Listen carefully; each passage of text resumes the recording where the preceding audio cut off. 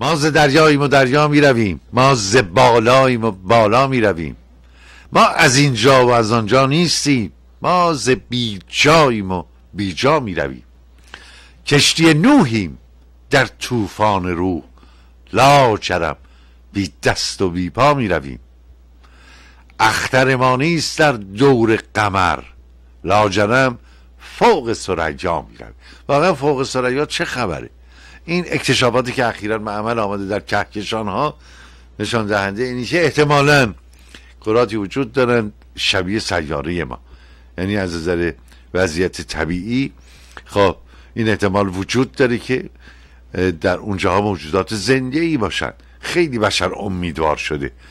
اجازه همیانان امروز بریم به سراغ کارشناس فیزیک و استاد دانشگاه آقای دکتر علی نیری عزیز درود بر دکتر نیری درود بر شما.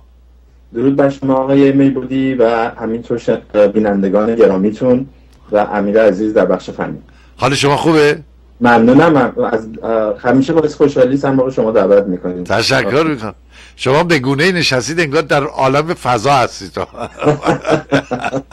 خب. کار من همینه. کار من ارتباط با کل کیهان است و به وجود آمدنش و دگرگونش و تحولش. کاملا. اولا دکتر نگیری به من بفرمایید که ما چقدر میزان اطلاعات و معرفت ما نسبت به کل کائنات چند درصده درصد قابل توجهیه.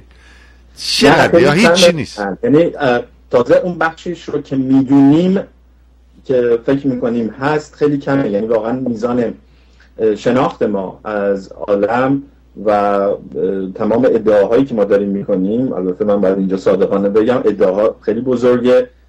خود منم جز اون کسانی هم که ادعاهای بزرگی می‌کنم ولی واقعیت این است که ما فقط کمتر از پنج درصد کل عالم رو کل کائنات رو کل کیهان قابل مشاهده رو می‌دونیم و میفهمیمش تا اندازه خیلی خوبی. در واقع 95 درصد عالم رو ما هنوز می‌دونیم که وجود داره اما طبیعت و ماهیتش رو اصلا هیچ واقعا ایده مشخصی رو نداریم و الان بودجه عظیمی رو دولت آمریکا گذاشته برای نسل بعدی آشکارسازهایی که بتونن اون باقی مانده عالم رو که جز بخش اسرارآمیز عالم رو بفهمن. یک بخشی هست که اصطلاحا ما بهش میگیم ماده تاریک که این 26 درصد عالم رو تشکیل میده. که برای اون در سی چل سال گذشته تئوری های زیادی بوده.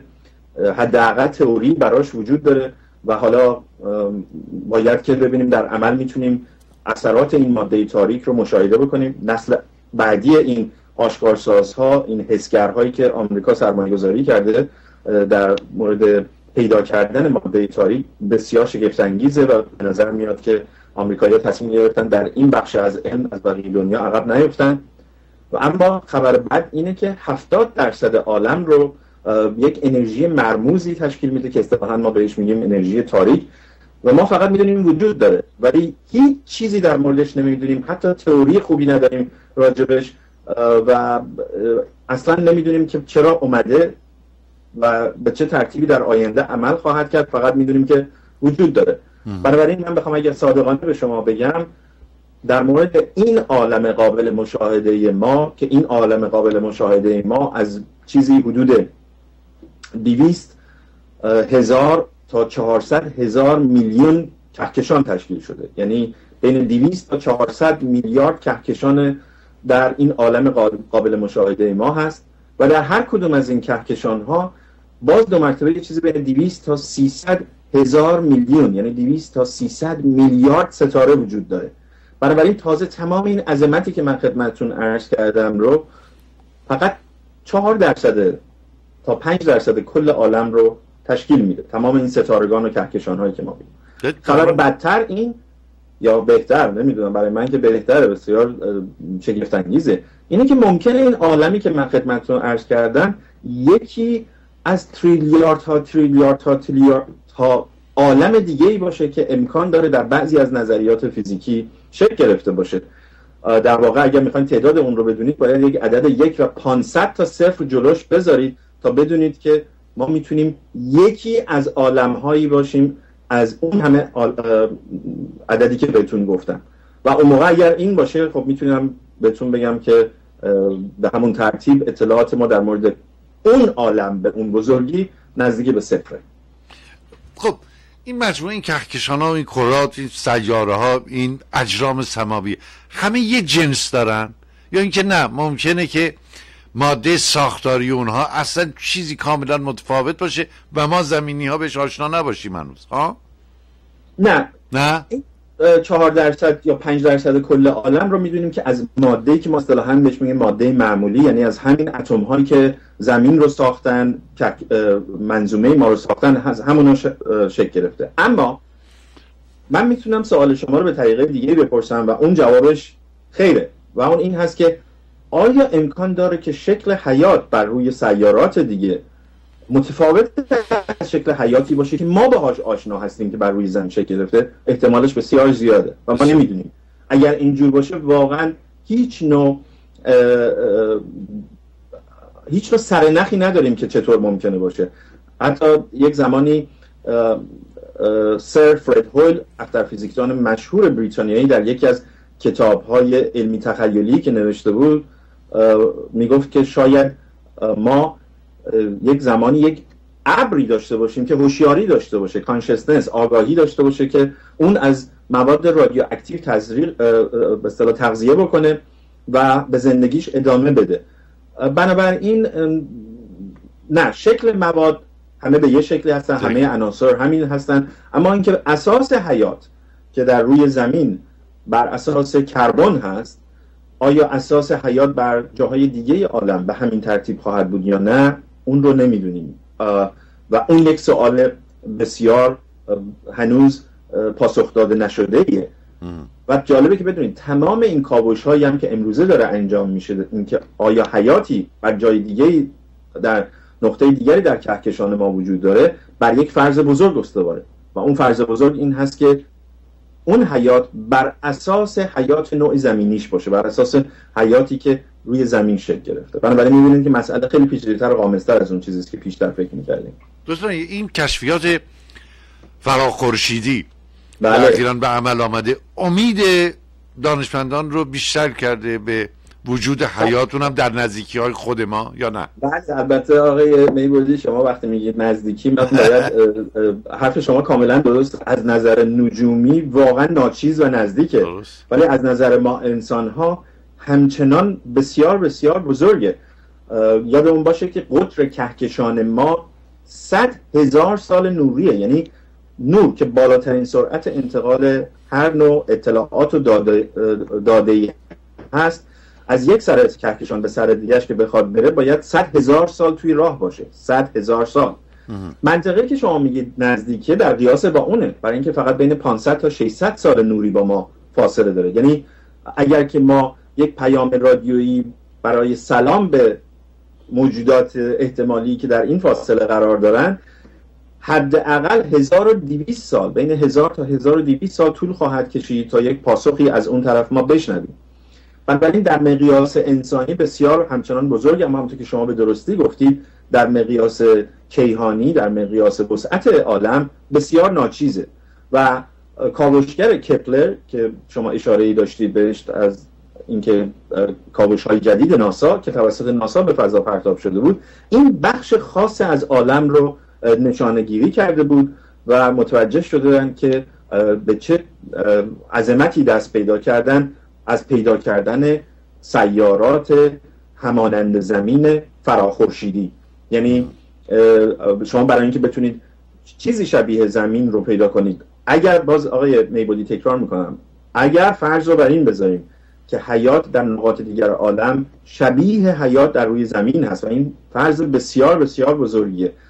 متاسفانه ما چیز دیگه رو در اختیار نداریم. اگر بر فرض رو بذاریم که این حیات بر اساس می‌تونسته مثلا سیلیکون شکل بگیره ما اصلا هیچ ایده ای نداریم که اون موقع موجودات چه شکلی خواهند بود به چه ترتیبی خواهند منتها من این مسئله رو می‌خوام اینجا بگم که پیدا کردن سیارات شبیه زمین یک مسئله است. پیدا کردن حیات یک مسئله است. پیدا کردن موجودات پیچیده یک مسئله است. پیدا کردن موجودات پیچیده صاحب تمدن یک مسئله دیگه است. یعنی همونطور که می‌بینید فاکتورهای بسیار زیادی وجود داره. من علت اینی که اینو می‌خوام بگم این این نباشه که مثلا بینندگان گرامیمون یک دفعه فکر کنم خب حالا که یه سیاره شبیه زمین کرد شده حتما اونجا موجودات بسیار پیشرفته یا پسرفته وجود دارن. که دارن اونجا زندگی می‌کنن. هنوز ما فاصله خیلی زیادی داریم و هر کدوم از اینها تعاریف مشخص خودشو داره که حیات یعنی تعریفش چیه؟ حیات پیچیده تعریفش چیه؟ حیات پیچیده صاحب تمدن به چه معناست؟ ما اصولا تعریفی که می‌کنیم موجود پیچیده صاحب تمدن موجودی است که بتونه هنر رو درک بکنه ادبیات رو خلق بکنه و بتونه علم رو بفهمه و زبانش زبان ریاضیات باشه برای علم. اگر این چهار تا خصوصیت رو داشته باشه ما میگیم که این یک موجود صاحب تمدنه. ولی فرض کنید که یک موجودی شبیه سگ شبیه میمون شبیه شیر شبیه فیل اینها موجودات پیچیده ایند ولی صاحب تمدن نیستن. بنابراین ببینیم که هنوز خیلی زوده که ما بخوایم بگیم که شاید موجودات دیگه ای همانند ما به پیشرفتگی ما و شاید حتی بسیار پیشرفته تر از ما در نقاط دیگر از کهکشان ما وجود داشته باشه. و تازه ما فقط داریم راجع به کهکشان خودمون صحبت می‌کنیم. خب حالا که به اینجا رسیم اجازه سال ارزان از شما بکنم. بعد در رادیویی بودم. بعد از ظهر ساعت سه فرید که یکی از گوینده های معروف رادیو ایران بود آمده بود به لس آنجلس و در این رادیو رادیو ایران برنامه برنامه زنده داشت. معمولا وقتی برنامه شروع می‌کرد با یک سوال شروع می‌کرد. اون روز هم اومد با یک سوال شروع کرد. گفت هموطنان عزیزم آیا به بشقاب پرنده آیا بشقاب پرنده وجود دارد؟ خب مردم زنگ می‌زدن هر که نظری می‌داد. یه نفر زنگ زد گفت که بله وجود دارد. گفت شما از کجا می گفت برای اینکه من خودم با بشقاب پرنده اومدم به کره زمین. بعد مدیر رادیو آقای مروبتی بود صاحب رادیو. بله بله. آقای مروبتی هم توی اون بشقاب پرنده بود. می‌خوام از شما سوال بکنم. می‌دونم که این موضوع بشقاب پرنده سوژه خوبی بوده برای هالیوود برای بسیاری از رسانه ها بله. می‌خوام خود شما واقعا تای دلتون با توجه به مطالعات گسترده ای که دارید چی فکر می‌کنید؟ یعنی واقعا ممکنه تمدنی پیشرفته تر از تمدن انسان روی کره زمین وجود داشته باشه در کائنات؟ پرسش بسیار خوبیه. بخش دوم پرسشتون. من فقط پرسش اول بگم که من به هیچ وجه اعتقادی ندارم که بشقاب پرنده‌ای وجود داره یا اگر داشته تونستن که با ما زمینیان تماسی برقرار کنن. تا به امروز هیچ مدرک محکم علمی در این مورد به دست نیامده اما در واقع شما بر اساس احتمالات که هفت عامل وجود داره می‌تونید در نظر بگیرید که تعداد تمدنهای شبیه زمین می‌تونه فرض کنید در یک کهکشان مثل کهکشان ما که دیویست هزار میلیون ستاره داره چه تعداد باشه؟ این تعداد می‌تونه از بین هفتاد تا هزار تا تغییر بکنه. و صحبت اینه اگر که یک تمدنی وجود داشته باشه که از ما متمدنتر باشن. این یک سوال اساسی تر آقای میبودی عزیز. فرض کن یک تمدنی وجود داره که برای مثل ما نیست که این فجایعی که الان داره با هم نواش انجام میده رو انجام داده باشه. یا حداقل از این مراحل گذاشتن و به یک مرحله والای اخلاقی رسیدن. چون متاسفانه به نظر میاد ما انسان ها اگر بخوایم به این ترتیب ادامه بدیم یعنی تجاوز به هم نوع تجاوز به حقوق حیوانات تجاوز به طبیعت نهایتا ما محکوم و محکوم به انقراض خواهیم بود.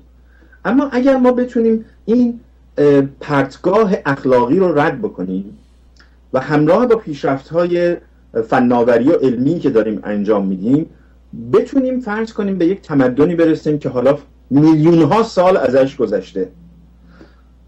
در این صورت اگر حیاتی در گوشه ای از این کهکشان ما وجود داشته باشه که میلیون ها سال دوام آورده و با توجه به پیشرفت های عظیم علمی و فناوری که داشتن با توجه به علمی که خیلی هم لازم نیست پیشرفته باشه. حتی ما الان می‌دونیم که خورشید ما در چه زمانی از بین خواهد رفت.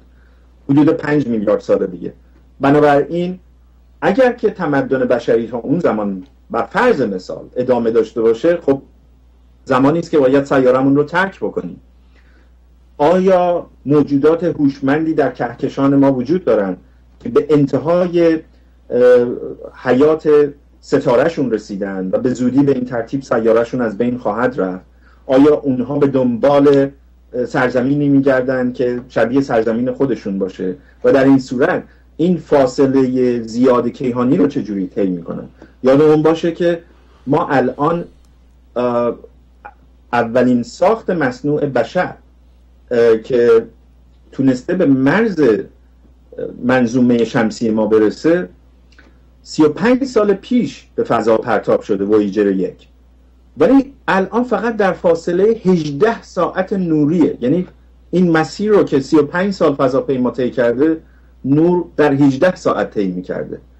بنابراین ما هر چقدر در تکنولوژی پیشرفت کنیم نمی‌تونیم به تکنولوژی برسیم که بر اساس قانون نسبیت اینشتین هیچ وقت ما با سرعت نور نمی‌تونیم حرکت بکنیم. حتی اگر با سرعت نور هم حرکت بکنیم از یک سر کهکشان تا یک سر کهکشان دیگه 100 هزار سال فاصله است. 100 هزار سال وقته که هیچ عمر هیچ حیاتی رو ما نمی‌شناسیم که بتونه اینقدر عمر بکنه. بنابراین شاید یه راهش این باشه که راه های دیگه ای رو پیدا بکنیم. گذر از تونل زمان به یک شکلی. یا اینکه ما بتونیم به قول راجر پنروز ریاضیدان مشهور انگلیسی ما بتونیم ربات هایی درست کنیم که این ربات ها در طی میلیون ها سال سفرشون بتونن ربات های پیشرفت. یعنی ببینید یکی از شرایط بقا تولید مثله. ما انسان ها عمر کوتاهی داریم. ربات هایی هم که بسازیم انسان ها ساختن. اگه ربات های زمانی به اون هوشمندی برسن که بتونن یک رباتی هوشمندتر از خودشون بسازن اون موقع شاید بشه امیدوار بود که با حمل دی ای انسان ها به یک نقطه دیگری از عالم این نسل تداوم پیدا بکنه. بنابراین این مسئله پیچیدگی های بسیار زیادی داره. برای همین هم گفتم پرسش دومتون پرسش بسیار خوبیه و در این حال جواب دادنش بسیار سخته. برای اینکه حتی بذارید من یه چیز دیگه بهتون بگم. ارتباط برقرار کردن با تمدن های پیشرفته هم ممکنه مشکل باشه. ما تا 100 سال گذشته شما آقای میبودی این چیزها رو بهتر از من می‌دونید از نظر تاریخی. نمی‌دونم الان از عمر رادیو چند سال میگذره؟ فکر نمی کنم حالا حد اکثر 120 سال بیشتر بله بله. خب تا قبل از اون اصلا ما هیچ موج رادیویی به فضا نمیفرستادیم که بتونن ما رو پیدا بکنن. متوجه هستید بله. اون وقت ببینید الان داره چه اتفاقی میفته. آقای میبودی عزیز ما داریم دو مرتبه عالم ما از می‌خوام زمین ما زمین بسیار ساکتی بود در طول موج امواج رادیویی و الکترومغناطیسی. و بعد به یک باره با اختراع رادیو و تلویزیون ما به فضا مرتب امواج مختلف الکترومغناطیسی رو در طول موج رادیویی و تلویزیونی و غیره و غیره به فضا فرستادیم. اما الان داره چی اتفاق میفته؟ ما داریم دو مرتبه از عصر امواج به عصر دیجیتالیزم و مثلا عصر ارتباطات فیبرهای نوری و دیجیتالی میریم که اینها دیگه موجی رو به فضا نمیفرستن. در واقع اتفاقی که داره برای زمین ما میفته این است که زمین ما نسبت به 20 سال پیش 30 سال پیش قطعا نسبت به 50 سال پیش بسیار بسیار ساکتتر شده. ما موجی رو دیگه به فضا نمیفرستیم که مورد آشکارسازی بقیه تمدن ها قرار بگیره. بنابراین حالا فرض کنین یه تمدنی که میلیون ها سال از ما پیشرفته تره معلوم نیست از چه تجهیزاتی استفاده می‌کنن برای ارتباط گیری با هم دیگه. ممکنه ما هیچ وقت قادر به آشکار کردن اونها نباشیم. در درک قوانین این کائناتی که درش ما زندگی کنیم یکی از ساکنانشه که از از شهروندانشیم. انسان به کدام یک از دانشمندان بیشتر وامدار و بدهکاره؟ در جمع دانشمندان بزرگی که خیلی کمک کردن به اینکه به اصطلاح معرفت انسان رو نسبت به این کائنات بیشتر بکنن. ما به کی بیشتر بدهکاریم؟ من فکر می‌کنم بدون قطع من می‌تونم اسم سه نفر بیارم اگر که نخواهیم بزرگترش بکنیم. سه نفری که نقش بسیار اساسی داشتن در تکان دادن معرفت انسانی حتما آیزاک نیوتونه حتما چارلز داروینه و حتما مارکس خواهد بود. این سه نفر نقش بسیار اساسی در تکوین و تکامل فکر بشری داشتن. جالبه. حتی اگه بخوایم لیست رو اضافه بکنیم حتما کسانی مثل فروید توش جا می‌گیرن کسانی مثل اینشتین توش جا می‌گیرن. ولی بخوام سه تا بزرگ تاثیرگذار در شناخت ما نسبت به عالم رو بگم حتما مارکس نیوتن و داروین خواهند. جالبه. خب داروین چرا؟ مارکس چرا؟ نیوتن قابل درکه. داروین برای اینکه ماها تمام موجودات روی زمین در واقع یک بخش دیگه ای داره که فیزیکی نیست. اون بخش بیولوژیکی و زیستشناخیه داروین با طرح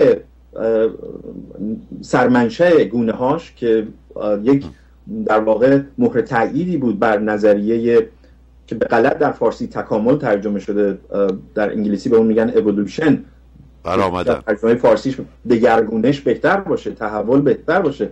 چون تکامل که میگیم یه مقدار این حس رو میده که قرار چیزی کاملتر و بهتر بشه. اصلا مسئله این نیست. برآمدن بهتر نیست؟ برآمدن. برآمدن.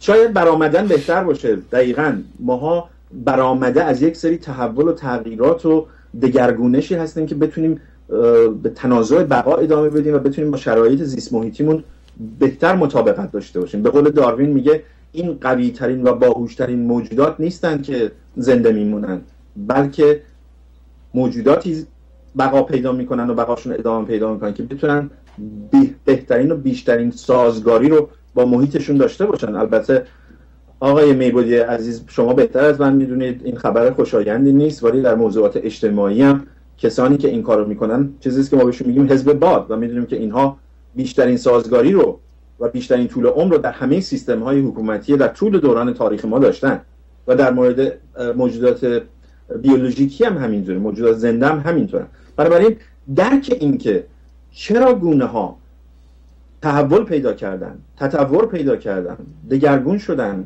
یا فرگشت پیدا کردن این کار عظیم داروین بوده و اینکه نشون داده همه ما سرمنشه حیاتمون به تکسلولی ها می‌رسیده و از آب شروع شده. خب این یک کار بسیار عظیمی است. یعنی در واقع ما درک تا پیش از این درک از حیات و تعریف حیات نداشتیم و خب تحولی که بعد از اون ایجاد شده تحول بسیار بزرگی بوده که از یک سر به علم پزشکی می‌رسیده از سر دیگه به همین علم نجوم می‌رسیده که من و شما الان داریم با هم دیگه صحبت می‌کنیم که آیا حیات دیگه ای وجود داره. مارکس به نظر من نقش بسیار اساسی داره در تدوین مسئله سرمایه که یکی از چیزهایی است که در کنار باز تنازع بقای بشر میاد. و مسئله سوشالیزم که مطرح می‌کنه سوسیالیست رو مطرح می‌کنه یک نوع اقتصاد دیگری رو در مقابل اقتصاد سرمایه‌داری مطرح می‌کنه علیرغم همه ایرادهایی که بهش وارده. چنان تحول فکری است که برای نخستین بار ما می‌بینیم کسی در علوم اجتماعی در واقع مارکس به یک معنا اولین کسی هست که کلمه سوشال ساینسز رو استفاده می‌کنه. یعنی سعی می‌کنه از علوم طبیعی برای تبیین و پیشبینی اون به مسائل اجتماعی استفاده کنه. او بسیار تحت تاثیر فرض کنید که قوانین ترمودینامیک بوده و فکر می‌کرده که قوانین ترمودینامیک رو می‌تونه بیاره برای توضیح اینکه یک جامعه ای چه نوع واکنشی رو انجام خواهد داد. برای همین هست که من فکر می‌کنم این سه شخص نقش بسیار بسیار اساسی داشتن. یکیشون در مسائل یعنی علمی کردن حوزه اجتماعی دیگری در واقع ریاضی کردن فلسفه طبیعی که ما الان بهش میگیم فیزیک و طبیعتا کسی مثل داروین که به ما سرمنشه حیات رو نشون بده. داشت پیدایش حیات تکوین حیات به نظر شما زنجیره است یا اینکه نه یه بار اتفاق افتاده و ما کماکان داریم در ادامه همون تکفین نخستین زندگی می‌کنیم. یعنی پیش از اون تکفینی نبوده. همه چیز از خلعش از هیچ شروع شده. همه چیز دقیقا همینطور که شما گفتید آقای میبودی بر اساس مستندات علمی یعنی دیگه شده فکت های علمی. می‌دونم هنوز یه سری میگن که نظریه داروین یک نظریه است. نظریه داروین دیگه نظریه نیست یک فکت علمیه. شاید میلیون ها شاهد برای وقتی یک نظریه وجود داره تبدیل به یک فکت علمی میشه. واقعیت این است که سرمنشه حیات در روی زمین و از آبها بوده و اینقدر ما الان مستندات زیادی داریم که فرض کنید نشون میده که چرا ماها با مگس میوه اینقدر اشتراکات داریم. 63 درصد ژنهای ما و مگس میوه یکسان هست. ماها با موش به گمانم 79 درصد شراکت ژنی داریم. برای همین هم است که بسیار از آزمایش های پزشکی رو نخستین بار روی روی موش ها آزمایش می‌کنن. با با شامپانزه ها ما نزدیکترین قرابت رو داریم که به غلط متاسفانه می‌گویند که داروین به انسان ها یه نوعی توهین کرده که گفته که شما ها از نسل شامپانزه ها هستید. به هیچ وجه اصلا داروین اصلا همچه حرفی نزده. حرف داروین این هست که ما شامپانزه ها و دیگر موجودات دیگر هممون نیاکان مشترک داشتیم اجداد مشترک داشتیم. همه ماها از موجودات آبزی برآمدیم. به قول شما واژه‌ای که استفاده کردید که من خوشم ما برآمده از این تحولات فیزیک و شیمی هستیم که در طول میلیاردها سال تحول و تکامل عالم ما رخ داده. به ده میلیارد سال آشپزخانه عالم وقت احتیاج داشته که بتونه یک ستاره یا شبیه خورشید به وجود بیاره بتونه سیاره یا شبیه زمین به وجود بیاره و خود این زمین به چهار و نیم میلیارد سال وقت احتیاج داشته تا بتونه یک موجود زنده ای رو به وجود بیاره. متاسفانه این اعداد و ارقام چیزی است که بعضیا چون نمی‌تونن تصور کنن که اینا چقدر می‌تونه بزرگ باشه براشون غیر قابل قبوله که حیات فرض کنید که به یک باره در اثر یک حادثه در اثر یک بینظمی شروع شده باشه. جهان ما عالم ما به سمت بینظمی داره میره. بینظمی حیات رو به وجود آورده اتفاقا. اگر نظم بود موجود زنده ای هم به وجود نمیومد بنابراین حیات از آب به بیرون جسته بله؟ همینطوره دقیقا. در کره زمین در کجا به نظر شما؟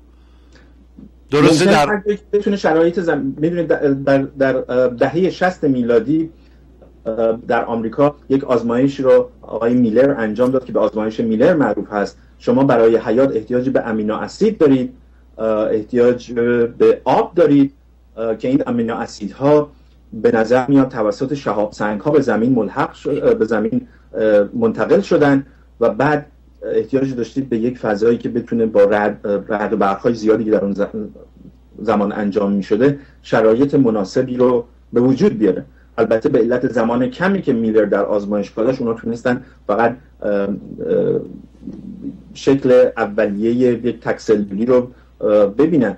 هنوز فاصله بسیار زیادیه. ما یک گفتم سه و نیم میلیارد سال طول کشیده تا از اولین شکلگیری این آمدن آمینو اسیدها به زمین توسط شهاب سنگ ها و اجرام سماوی دیگه که در واقع می‌تونیم بگیم منشأ ما همگیش کیهانیه. ما هممون از, از در این کیهان از یک ستاره دیگه به اینجا آمدیم ولی به حال وقتی که 65 میلیون سال پیش زمین ما با یک برخورد یک شهاب سنگ عظیم 99.5 درصد موجوداتش از بین رفتن از دل اون دایناسور از بین رفتن و 99.5 درصد دیگه موجودات نهایتا بعد از اون یک تمدنی مثل تمدن بشری شکل گرفته. ممکن هست این اتفاق باز هم برای ما بیفته و البته زمین به مسیر خودش ادامه خواهد داد و شاید به قول یکی از دوستان مشترکمون آقای میبودی عزیز شاید اگر که اتفاق دوباره همچین اتفاقی بر روی زمین بیفته شاید اون موجودات جدیدی که برآمده خواهند شد از ما رفتارهاشون به یک نوعی الله بخوایم بگیم. بهتر باشه. بهتر باشه. جالبه که مولوی در یک بیت همه حرفهای شما رو زد. ما ز بالاییم و بالا می رویم ما ز دریاییم و دریا می بسیار جالب. جالبه نیست؟ خیلی جالبه. خیلی جالب. داشتن یعنی اجازه بدید که برنامه رو پی بگیریم با شما. بحث های جالب. با آقای دکتر علی نیری استاد فیزیک. تشکر می‌کنم. تا هفته, تا هفته آینده. تا هفته آینده. خدا حافظ شما. خدا حافظ شما.